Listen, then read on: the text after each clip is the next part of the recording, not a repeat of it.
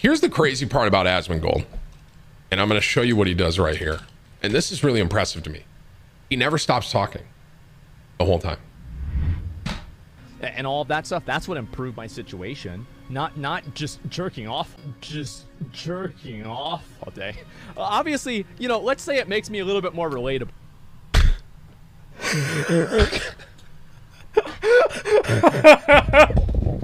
look it was a really important conversation